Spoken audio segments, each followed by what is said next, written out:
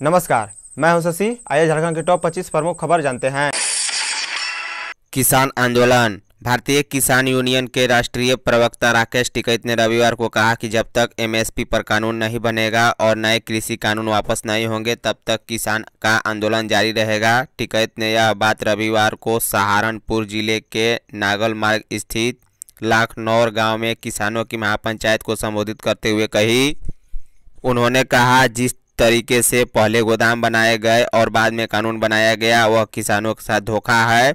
विपक्ष की मजबूती पर अपने विचार व्यक्त करते हुए टिकैत ने कहा कि विपक्ष का मज़बूत होना बहुत ज़रूरी है। मौसम विभाग के अनुसार अगले सात दिन तक मौसम बिल्कुल साफ़ रहेगा। हालाँकि एक मार्च को आसमान में आंशिक बादल छा सकते हैं। मौसम विभाग के अनुसार एक मार्च को मौसम मुख्यतः शुष्क रहेगा। राज्य के दक्षिणी भागों, पूर्वी सिंहभूम, पश्चिमी सिंहभूम, सिमडेगा तथा सरायकला खरसावा में आंशिक बादल छा सकते हैं तथा शेष भागों में आसमान मुख्यतः साफ़ रहेगा। हालाँकि बारिश की संभावना नहीं है, इसके बाद आसमान बिल्कुल साफ़ रहेगा।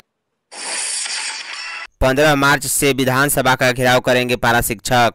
अस्थायीकरण वेतनमान तथा अन्य मांगों को लेकर लगातार आंदोलन कर रहे पारा शिक्षकों ने एक बार फिर आंदोलन शुरू की चेतावनी दी है। बता दें एकीकृत पारा शिक्षक संघर्ष मोर्चा की राज्य कमेटी की शनिवार को रांची में हुई बैठक में निर्णय लिया गया कि उनकी मांगों पर 14 मार्च तक कार्रवाई नहीं हुई तो 15 से 19 मार्च तक पारा शिक्षक विधानसभा का घेराव करेंगे। बता दें उनकी मांगों में स्थायीकरण करते हुए वेतनमान अप्रशिक्षित एनसी अंकित पारा शिक्षकों के 22 माह का बकाया मानदेय भुगतान पलामू के छतरपुर नौडिया बाज़ार प्रखंड के चार पारा शिक्षकों के बकाया मानदेय भुगतान पूर्व सरकार द्वारा पारा शिक्षकों पर दर्ज मुकदमा वापस करने शामिल हैं। झारखंड में आज से खुलेंगे private school, college, coaching, cinema hall. Jharkhand के शैक्षणिक संस्थान सोमवार से खुल जाएँगे। इनमें कक्षा आठ तथा इससे ऊपर कक्षाओं के लिए सभी स्कूल के अलावा विश्वविद्यालय, कॉलेज, सभी तकनीकी व प्रशिक्षण संस्थान, कोचिंग संस्थान, कौशल विकास केंद्र शामिल हैं। संस्थाओं को कोरोना वायरस से बचाव को लेकर केंद्र व राज्य सरकार द्वारा जारी दिशा निर्देश का अनुपालन अनिवार्य रूप से करना होगा। राज्य में सोमवार से ही सिनेमा हॉल तथा पार्क भी खुलेंगे। बहुत ज़रूरी है बुज़ुर्गों और बीमारों के लिए टीका लेना। कोरोना वायरस के संक्रमण के खात्मे के लिए सभी लोगों को इससे बचाव का टीका लेना आवश्यक है, लेकिन बुज़ुर्गों और बीमारों के लिए तो यह टीका लेना और भी ज़रूरी है। बता दें, इसका सबसे बड़ा कारण यह है कि कोरोना वायरस बुज़ुर्गों और बीमारों के लिए सबसे अधिक घातक साबित हुआ है। आंकड़ों के अनुसार राज्य में एक हज़ार नब्बे लोगों की जान कोरोना से गई, जिसमें 831 मरीज़ लगभग छिहत्तर फ़ीसद, पचास बरस से अधिक आयु के थे। ऐसे में इस आयु वर्ग के लोगों के लिए उनका टीकाकरण बहुत ज़रूरी है। हजारीबाग, बड़का गाँव में रैयतों को वापस मिली ज़मीन। हजारीबाग ज़िले के बड़का गाँव स्थित पसेरिया मौजा में ज्वाइंट वेंचर की कंपनी, रोहाने कोल कंपनी को दी गई ज़मीन रैयतों को फिर से वापस मिल गई है। बता दें, ज़मीन पर फिर से अपना हक लेकर रैयत खुश हैं। इसके लिए उन्होंने विधायक अंबा प्रसाद को सम्मानित करने के लिए समारोह का आयोजन किया। समारोह में ग्रामीणों ने लोक नृत्य और संताली गीत गाकर विधायक का भव्य स्वागत किया। कोरोना टीकाकरण का दूसरा चरण सोमवार से प्राइवेट अस्पताल में लगेंगे दो सौ रुपए। एक मार्च से देश भर में कोरोना टीकाकरण अभियान का दूसरा चरण शुरू हो रहा है। इसमें 60 साल से अधिक उम्र के लोगों को टीका लगाया जाएगा। इसके अलावा 45 वर्ष से अधिक उम्र वाले ऐसे लोगों का टीकाकरण होगा जो अन्य गंभीर बीमारियों से ग्रस्त हैं। बता दें, झारखंड सरकार ने टीकाकरण के दूसरे चरण के लिए पूरी तैयारी कर ली है। सोमवार सुबह नौ बजे से वैक्सीनेशन की प्रक्रिया शुरू हो जाएगी। सरकारी के साथ साथ प्राइवेट अस्पतालों में भी टीकाकरण की व्यवस्था की गई है। सरकारी अस्पतालों में टीकाकरण निःशुल्क होगा, जबकि प्राइवेट अस्पतालों में टीका लगवाने पर प्रति डोज दो सौ देना होगा। झारखंड में बासठ लाख बच्चों को पढ़ाने के लिए 31 मार्च तक चलेगा विशेष अभियान। झारखंड के बासठ लाख छात्र छात्राओं को पढ़ाने के लिए विशेष अभियान चलेगा। राज्य सरकार 31 मार्च तक सेतु गाइड विशेष शिक्षण कार्यक्रम के ज़रिए इन छात्र छात्राओं को पढ़ाएगी। बता दें, ये वैसे बच्चे हैं जो स्कूल से ड्रॉप आउट हैं। साथ ही सरकार और स्कूल की ओर से उपलब्ध कराए गए डिजिटल कंटेंट व ऑनलाइन क्लास से वंचित हैं। इनमें से साठ बच्चे सीधे ड्रॉप आउट हैं। जबकि इकसठ लाख बच्चों को ऑनलाइन शिक्षा नहीं मिल पा रही है। इस कार्यक्रम में 6 से 14 वर्ष के वैसे सभी बच्चों को जिन्हें किसी भी माध्यम से शिक्षा नहीं मिल पा रही है, उन्हें भी जोड़ा जाएगा। सभी स्कूलों के पोषक क्षेत्र में ऐसे बच्चों को चिन्हित किया जाएगा। बता दें, सभी स्कूलों के पोषक क्षेत्र में सेतु गाइड विशेष शिक्षण कार्यक्रम एक मार्च से ही शुरू किया जाएगा। गुमला में 60 जोड़ों की सामूहिक शादी। झारखंड के गुमला में सालों से लिव इन रिलेशन में रह रहे 60 जोड़ों की सामूहिक शादी कराई गई। बता दें, इसमें से कई जोड़ों के बच्चे अपने माता पिता के विवाह का गवाह भी बने। दरअसल, ये जोड़े गरीबी के चलते शादी के बंधन में नहीं बंध पा रहे थे। झारखंड में 44 नए संक्रमित की पुष्टि हुई है, जो रांची से 23 पूर्वी सिंहभूम पाँच, खूंटी तीन, गुमला दो, देवघर दो, बोकारो दो, हजारीबाग दो, रामगढ़ दो, चतरा एक, कोडरमा एक तथा सरायकला से एक मिले हैं। झारखंड में कुल संक्रमितों की संख्या एक लाख उन्नीस हज़ार नौ सौ उनचास है। वहीं एक लाख अठारह हज़ार तीन सौ पैंसठ लोग स्वस्थ हुए और एक हज़ार नब्बे की मृत्यु हो गई। भारत में पंद्रह हज़ार छह सौ चौदह नए संक्रमित मिले हैं। भारत में कुल मौत की संख्या एक लाख संतावन हज़ार एक सौ पंचानवे है। वहीं एक्टिव केस की संख्या एक लाख पैंसठ हज़ार सात सौ पंद्रह है। झारखंड में कुल एक्टिव केस चार सौ चौरानवे है। झारखंड में कुल जाँच की संख्या पचपन लाख अट्ठाईस हज़ार पाँच सौ चौदह है। झारखंड के छह जिलों में धान खरीद की स्थिति खराब। झारखंड के छह जिलों में धान की खरीद काफ़ी कम हुई है। बता दें, सबसे कम सरायकेला, खरसावा ज़िले में हुई है। सरायकेला, खरसावा के अलावा सिमडेगा, धनबाद, दुमका, गोड्डा और खूंटी ज़िले में धान की खरीद काफ़ी कम हुई है। वहीं हजारीबाग और गिरिडीह ज़िले में धान की खरीद अधिक हुई है।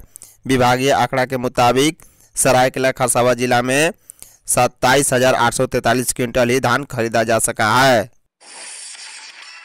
दस लाख का इनामी नक्सली जीवन कंडोलना ने किया आत्मसमर्पण। झारखंड सरकार के आत्मसमर्पण एवं पूर्णवास नीति के तहत झारखंड पुलिस की नई दिशा, नई पहल पर प्रतिबंधित सीपीआई माओवादी जीवन कंडोलना ने आत्मसमर्पण कर दिया है। बता दें, पुलिस ने मीडिया के सामने उसे पेश किया। जीवन कंडोलना दस लाख का इनामी माओवादी है। वह चक्रधरपुर से खूटी तक सक्रिय था। वह सतहत्तर मामलों में वंचित था। मौके पर रांची डीसी छवि रंजन, एसएसपी सुरेंद्र कुमार झा, ग्रामीण एसपी नौसाद आलम सहित कई अधिकारी मौजूद रहे। चना बेचने वाली पालनी की पढ़ाई का खर्च उठाएँगे गौतम अदानी। चना की झंगरी बेचने वाली पालनी अब अपनी पढ़ाई पूरी करेगी। बता दें, उसका पूरा खर्च उठाने के लिए अदानी ग्रुप के चेयरमैन गौतम अदानी आगे आए हैं। यह पहल उन्होंने इंटरनेट मीडिया पर मदद के लिए की गई एक ट्वीट को देख कर की है। बता दें इंटरनेट मीडिया पर फ़ोटो वायरल होने के बाद सुर्खियों में आई झारखंड के सिमडेगा जिला के रहने वाली पालनी कहती है कि अगर पापा ज़िंदा होते तो उसे भूखे पेट नहीं सोना पड़ता। साथ ही माँ के साथ सड़क किनारे वह चना की झंगरी बेचने को विवश नहीं होती।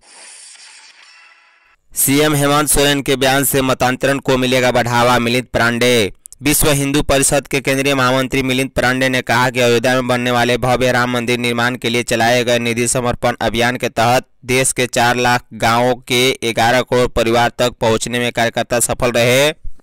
हर वर्ग, पंथ, जाति, सभी राजनीतिक दल के लोगों का समर्थन मिला। इस दौरान झारखंड सहित पूरे देश के जनजाति समाज का उत्साह देखते ही बन रहा था। परंतु झारखंड के मुख्यमंत्री का कहना है कि आदिवासी हिंदू नहीं थे और नहीं रहेंगे। ऐसे गैर जिम्मेदारा बयान है। ऐसे बयान से झारखंड में मतांतरण को बढ़ावा मिलेगा। किसी राजनीतिक नेतृत्व को ऐसा बयान देने से बचना चाहिए।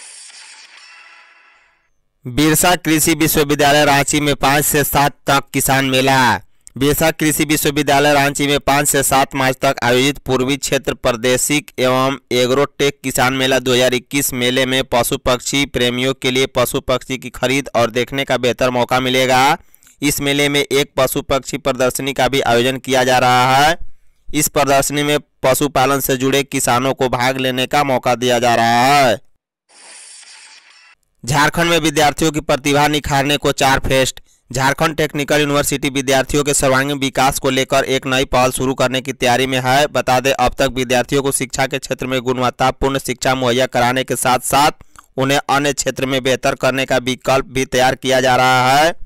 विद्यार्थियों में छिपी प्रतिभा को निखारने के लिए झारखंड टेक्निकल यूनिवर्सिटी ने अगले सत्र से चार क्षेत्र में फेस्ट का आयोजन करने का फैसला लिया है। इसके अंतर्गत sport fest, cultural fest techno fest और इंटरप्रेन्योरशिप फेस्ट का आयोजन करने का फैसला लिया है। होटलों में ठहरने के लिए अब रजिस्टर में नहीं करनी होगी एंट्री, ई रेस्टोरेंट ऐप तैयार। अब होटलों में प्रवेश करते समय पेन, पेपर और रजिस्टर की आवश्यकता नहीं पड़ेगी और लोगों को होटल में ठहरने के लिए रजिस्टर में एंट्री करने की भी ज़रूरत नहीं होगी। बता दें, cyber security expert Deepak Kumar ने ई रेस्टोरेंट नाम का ऐप विकसित किया है। इस ऐप को पुलिस को सौंपने के लिए जानकारी दी गई है। इस ऐप पर डिजिटल प्लेटफॉर्म पर आधारित होटल में प्रवेश मिलेगी। झारखंड में अंधविश्वास के नाम पर हत्याओं का दौर थमने का नाम नहीं ले रहा है। बता दें, हाल ही में गुमला के कामडारा में एक ही परिवार के पाँच लोगों की हत्या डायन बिसाई के आरोप में कर दी गई। वहीं राजधानी रांची से सटे कांके में भी एक दिन पहले दंपति की हत्या कर दी गई। झारखंड पुलिस के आंकड़े पर गौर करें तो वर्ष 2015 से 20 के इन पाँच वर्षों में डायन बिसाई के नाम पर 250 लोगों की हत्या की गई। वहीं इस अवधि में डायन बिसाई से जुड़े कुल छियालीस मामले राज्य के विभिन्न थानों में दर्ज किए गए लोहरदगा में बोलोरो से पशु तस्करी। लोहरदगा में पशु तस्करी का मामला थमने का नाम नहीं ले रहा है। बता दें, पशु तस्कर पुलिस प्रशासन की आँखों में धूल झोंक कर नए नए तरीके से पशुओं की तस्करी कर रहे हैं। पशु तस्करी के लिए छोटे बड़े वाहनों का उपयोग के साथ अब बलोरो वाहनों से भी पशु तस्करी की जा रही है। जामताड़ा कृषि प्रदर्शनी में मंत्री ने 75 किसानों को किया सम्मानित। रविवार को जामताड़ा महिला महाविद्यालय परिसर में जिला स्तरीय कृषि प्रदर्शनी सह संगोष्ठी में 75 किसान पुरस्कृत हुए, जबकि 100 से अधिक किसानों को गुलाब फूल का पौधा, स्ट्रॉबेरी का पौधा, मधुमक्खी पालन किट, पपीता का पौधा व सब्ज़ी के बीज वितरण किए गए। इसी प्रकार मत्स्य विभाग ने 60 प्रतिशत अनुदान पर मालवाहक ऑटो नब्बे प्रतिशत अनुदान पर मछली बेचने वाला ठेला समेत अन्य उपकरण बांटे। मन की बात कार्यक्रम पर कांग्रेस ने कसा तंज? झारखंड कांग्रेस ने रविवार को प्रधानमंत्री नरेंद्र मोदी के मन की बात कार्यक्रम पर तंज कसा? कांग्रेस के प्रवक्ताओं ने कहा कि पीएम ने हर बार की तरह इस बार भी किसानों की समस्या, बेरोजगारी, बढ़ती महँगाई और गिरती अर्थव्यवस्था पर चुप्पी साधे रखी। सिर्फ़ इधर उधर की बातें कर और कहानियाँ सुनाकर लोगों की मूल समस्याओं को दरकिनार करने का काम किया।